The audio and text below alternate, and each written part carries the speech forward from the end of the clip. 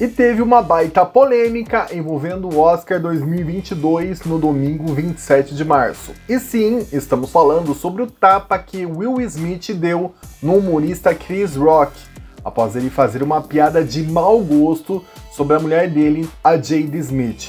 Vamos saber como se deu esse bafo agora. Uma briga acabou ofuscando a cerimônia do Oscar, e tudo porque Will Smith não gostou nada, nada de uma piada que o humorista e apresentador Chris Rock fez no palco da cerimônia. Nele, Chris Rock dizia que mal poderia esperar para que Jade Smith fizesse o filme Até o Limite da Honra 2. I love you. G.I. Jane 2, can't wait to see it. Alright? Comparando o fato da protagonista do primeiro filme estar careca com o fato de Jada Smith estar careca. A grande questão é que Jada enfrenta uma doença autoimune chamada alopécia, que faz com que os fios do cabelo fiquem finos e caiam. Ela revelou publicamente em 2018, no ano que ela usava turbantes, e em julho de 2021 decidiu raspar a cabeça. Ela afirmou que foi aterrorizante no início, principalmente quando ela ia tomar banho e via todo aquele cabelo nas mãos dela. Ou seja, algo bastante delicado para as pessoas que enfrentam a doença que mexe com a autoestima e que Jada demonstrou evidentemente em suas expressões que se sentiu desconfortável com a piada. Will então se levantou da cadeira, subiu no palco e deu um tapa no rosto do humorista pela piada de mau gosto. Uau! Oh, uau! Uau! E pela melhor surra recebida? Crime! E ainda disse: Deixe o nome da minha mulher fora da sua boca. Keep my wife's name out your fucking mouth! I'm going to, okay? oh, okay.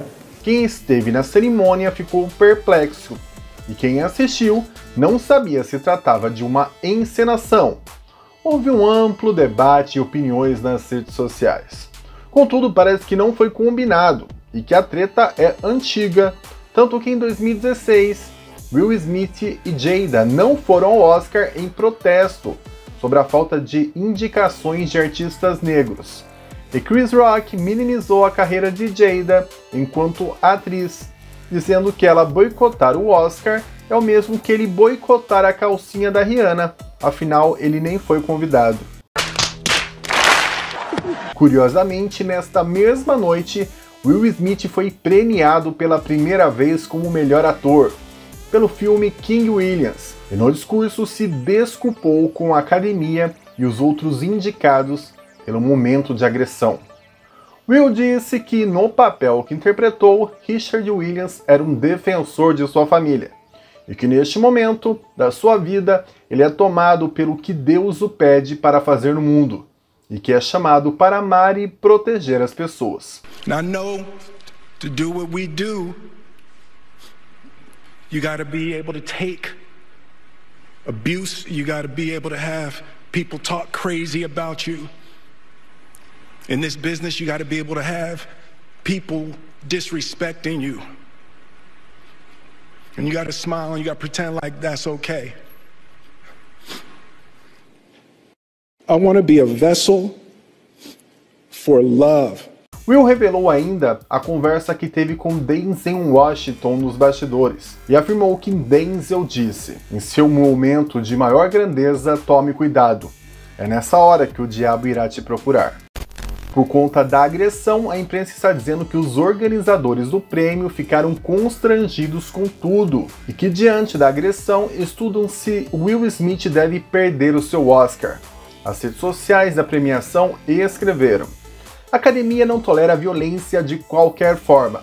Hoje à noite temos o prazer de celebrar nossos vencedores o 94º Oscar, que merecem este momento de reconhecimento de seus colegas e amantes do cinema em todo o mundo.